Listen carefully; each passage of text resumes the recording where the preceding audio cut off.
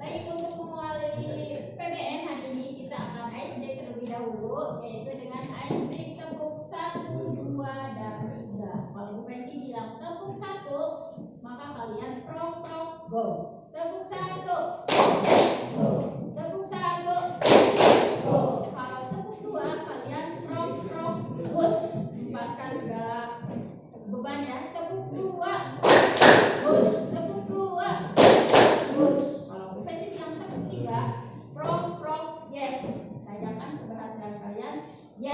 tanda rahasia. Tapi tidak